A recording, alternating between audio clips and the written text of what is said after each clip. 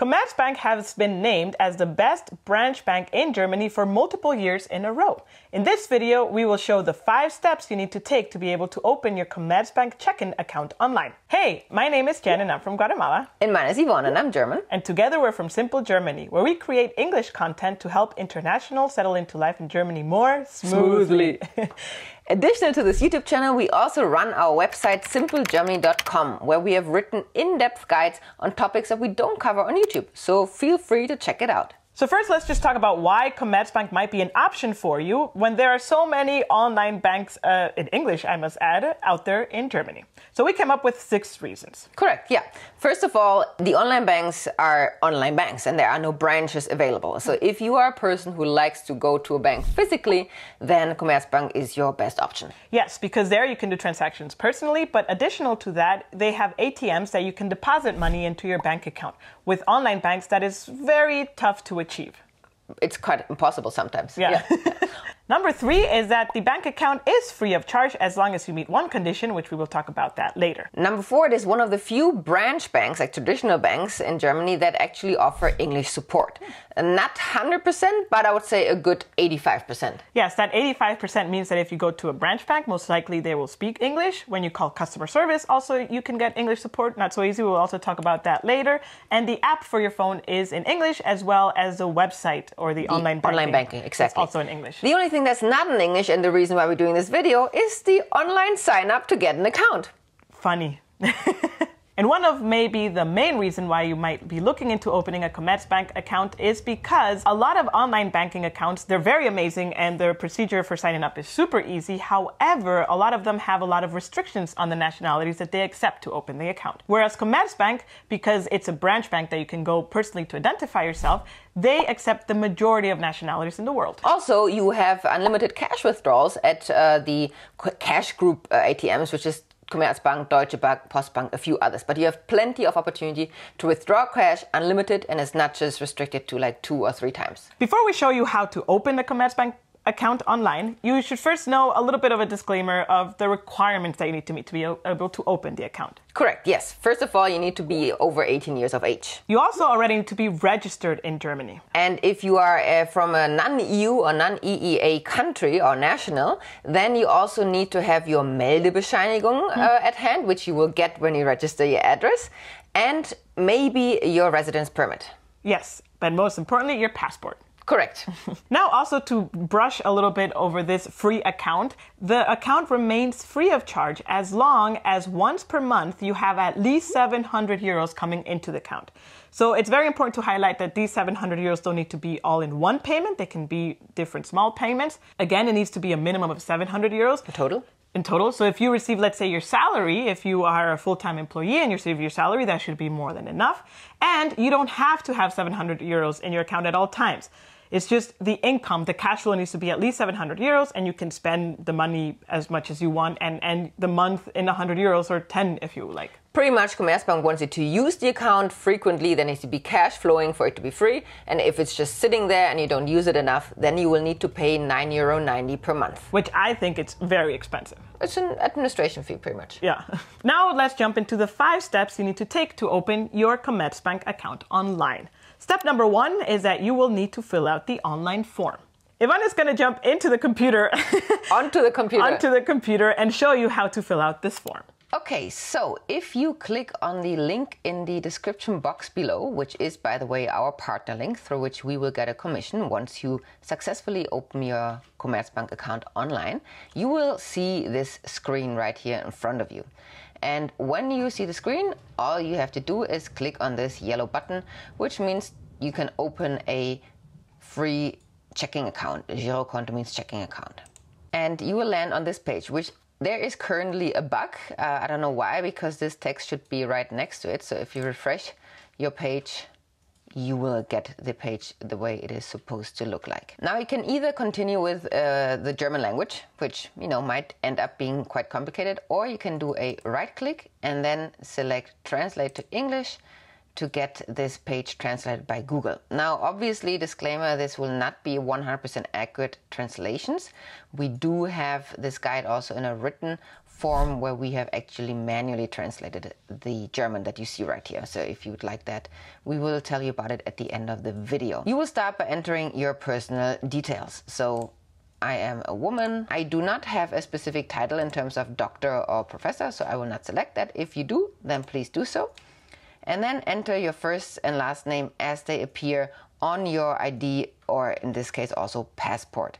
In this case, I will take a fake name and that will be Max Mustermann. The birth name also as stated in the ID if you've changed your name through marriage or other reasons. Then there is your date of birth, which here it is very important. You see the example how the computer is expecting you to enter your date of birth. However, if we enter it in the Google Translated English version, you see that it does a dash instead of the dot. This will result in an error once you try to submit this form. So before you enter your birth date, make sure you go back to the German language up here in the menu board, enter your birth date, and at first the day, then the month, and then the year. Once you've done that, you can go back to English and continue in the English language. Your place of birth, you can put your city where you were born, then the country of birth, take your Jen's country, and also the nationality. Here we go. Then we continue and you need to enter your residence address. And this is very important that it actually is the address where you are living or where you're receiving mail because you will get important letters after you successfully apply and verify for your Commerzbank account. So you need to be available at this address. I need to go to German real because I don't know what this means. Aha, your city. We can go back to English. Then your street and your house number. And then you need to enter a date again in the German version, otherwise it will not select the dots. Uh, since when you've been living at that address, and that usually is the same date when you registered yourself at the Bürgeramt and you did your Anmeldung. So let's just say you moved in on the 20th of February this year. The next question we go back to English is about your tax ID, which you will receive via postal mail a few weeks after you've done your Anmeldung, you register yourself. If you have it, enter it here. If you don't, leave it free and you can enter it later. If you're not sure where you can find your tax ID, we also have a guide on that, which we will link in the description box below. Very important is this little tick box if you are a tax resident in any other country other than Germany um, or have unlimited tax ability in the US, you need to tick this box and then you need to add the country where you are tax liable to fulfill the tax duties. If you've done so, you can click, I mean, I'll untick this, and then you go on continue. Commerzbank seem to have a bug at the moment, so if you see this white page, don't worry, just scroll down, and this is where it continues. So you need to enter your current employment, like what uh, are you working as? Are you an employee? Are you a craftsperson? Are you a trainee? Do you work for the government, or are you basically staying at home, supporting a family? Are you without a job, retired, a student, or are you a self employed uh, independent craftsperson or a self employed person in general? This is a very weird translation. If I go to German, it would pretty much just say, Are you self employed, selbstständig? For the sake of this example, we select employee and then you also select the position. And again, this is a very weird translation it means either lightened are, are, you are you manager are you leading other people or you can also choose to not enter any details and then continue. Now Commerzbank would like to know how to contact you best and you can enter your phone number. You can either do it in the plus 49 format and then the phone number without a zero or you could also just write it in the German format with a zero itself. Then you can also enter your email address, which also makes sure that it is a correct email address.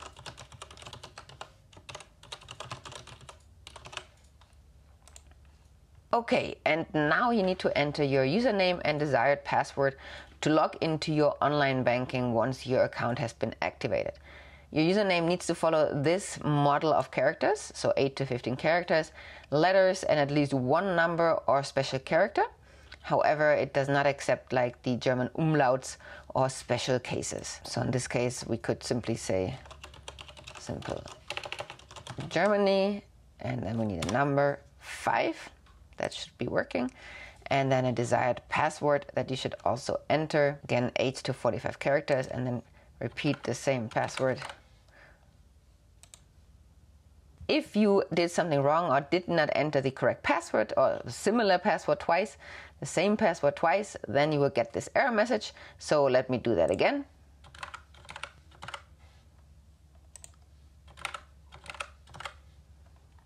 and continue. Okay, now you need to enter your expected salary that you will receive on your Commerzbank account. Remember, you need to receive a minimum of 700 euros per month for this account to remain free of charge. So you should at least enter um, the 1 to 1000 euros and not select here the no regular cash receipts. If you use it as your salary account, then you should enter the yeah, bracket where your salary lands in your net salary. So let's just select 1 to 2000 euro. And now you need to select how many times you believe you will withdraw cash per month from your account. And not, sorry, not how many times, but how much money.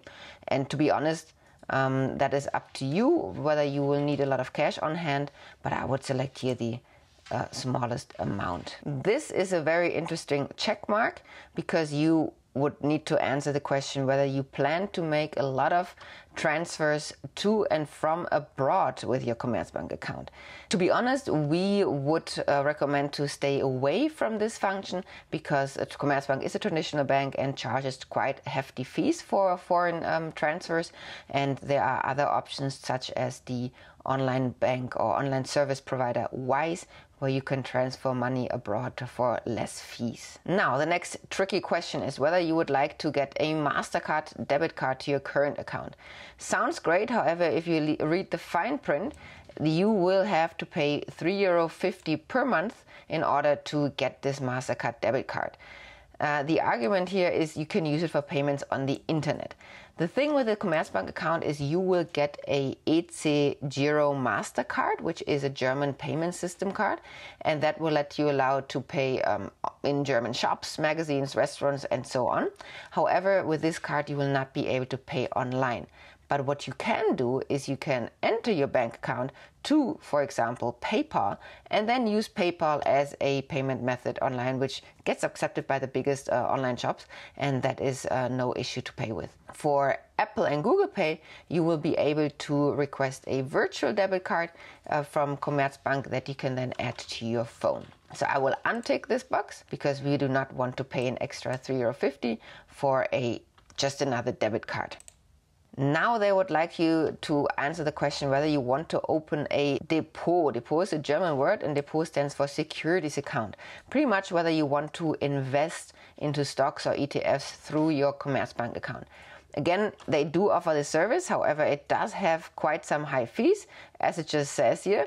You know, there are surcharges and purchase fees, and there are better or at least in English, and cheaper options online, where we have also done a video and a guide on, which we will link in the description box below, on the best online brokers in Germany. So I would also not take this box at this moment. Now you pretty much need to agree to the terms and conditions, which of course you can read in German if you um, can or want to. If not, you can just go ahead and accept the terms and conditions. Let's see which boxes we want to tick. If you would like to receive more information about the current account, you can click yes, and then you need to agree to the terms and conditions that it is you who opens the account and you consent that you have taken note of the information sheet. You can download the information sheet here also to save to your records and that you agree to the safekeeping of deposits.